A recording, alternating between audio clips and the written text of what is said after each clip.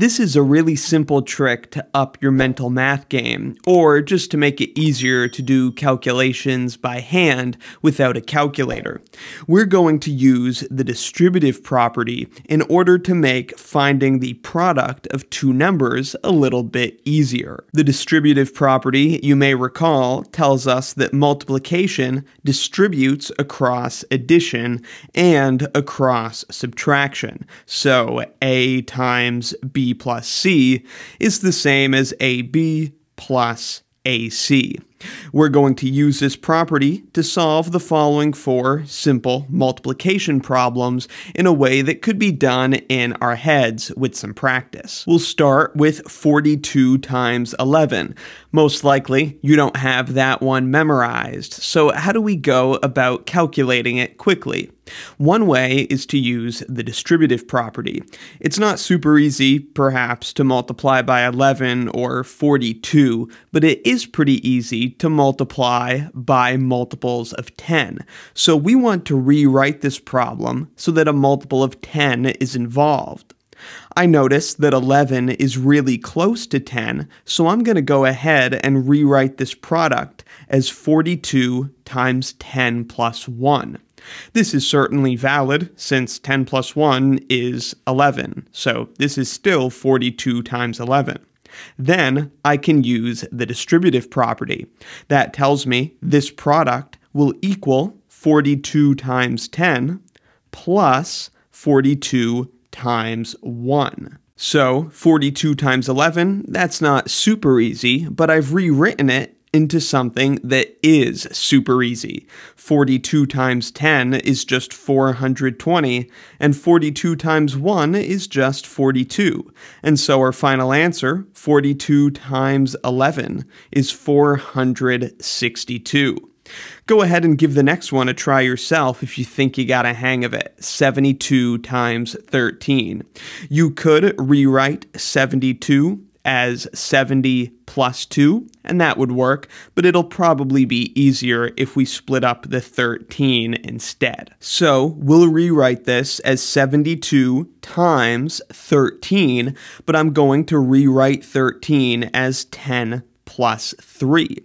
Now we can use the distributive property to turn this into a sum of simpler products.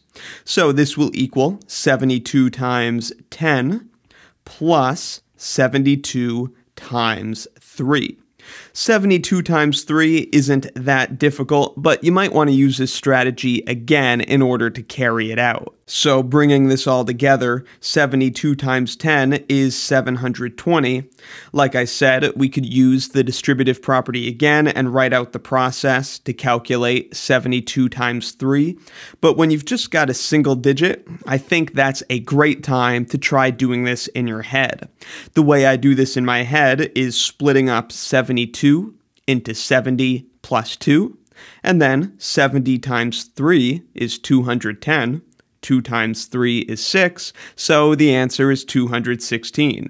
So we've got to add 216, and that becomes 936. That's 72 times 13. Now give the next one a try, 52 times 69.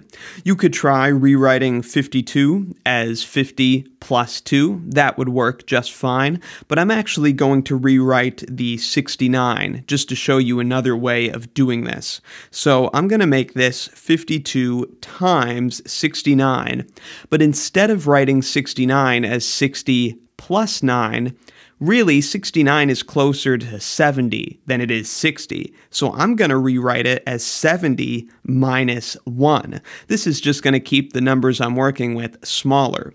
Now, I just have to distribute the 52 across the subtraction. So this becomes 52 times 70 minus 52 times 1. Now, 52 times 70, you could use this same strategy we've been using to evaluate that, but I'll walk you through how I do it in my head.